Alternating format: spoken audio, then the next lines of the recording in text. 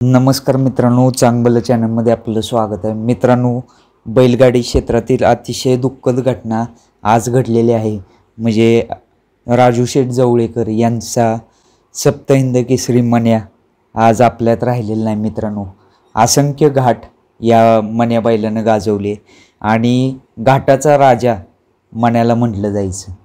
मन्या ज्यावेळेस घाटावर यायचा त्यावेळेस मण्याशी बारी बघायला एवढी जबरदस्त गर्दी घाटावर व्हायची.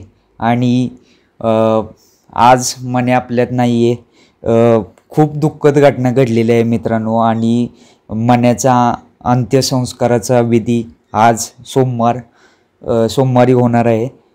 वाफगाव येथे.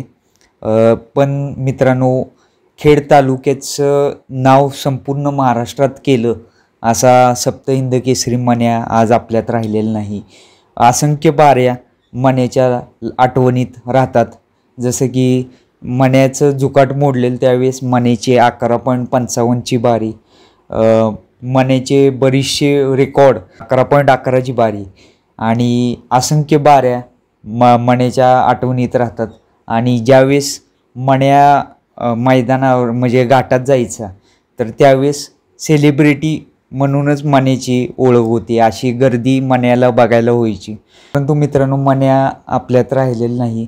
संपूर्ण महाराष्ट्राच्या मनावरती ज्या बैलांना अधिराज्य गाजवलं आणि ते पण निर्विवाद अधिराज्य म्हणजे असं कोणत्याहीच घाटात झालं नाही की मण्या घाटात गेला आणि तो घाट जिंकून नाही आला.